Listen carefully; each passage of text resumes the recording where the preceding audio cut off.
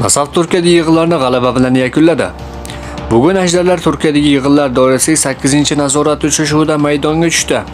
O'rtoqlik uchrashuvlarida Qozog'istonning O'rdova jamoasini 1-0 hisobda taslim etishdi. Qarshiliklar Antaliyada o'quv mashg'ulotlar mobaynida 8 ta uchrashuvda maydonga tushib, ulardan 4 tasida g'alaba qozonishdi, 4 tasida esa durang qayd etilgan. Qarshiliklar 15 fevral kuni Osiyo Chempionlar Ligasi ishtirok etish uchun arab davlatlariga uchib ketishadi. Osiyo Chempionlar Ligasi boshlanishiga esa 6 kun qoldi. Biz esa raqibni o'rganishga kirishdik. Al-Shabab jamoasi haqida bilasiz ma'lumotlar. Jamoaning to'liq nomi Al-Shabab, laqabi esa Oq sherlar. Tashkil topgan yili 1947-yil. Joylashuvi esa Ar-Riyod shahri. Ishtirok etadi Saudiya Arabistoni professional ligasida. Ayni vaqtda egallab turgan o'rni 3-o'rin.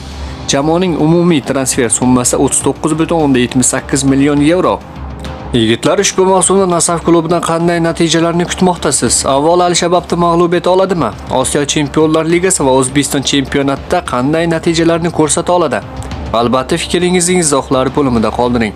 Men esa hozircha xayrlashaman. Ertangi dasturimizda ko'rishguncha salomat bo'ling.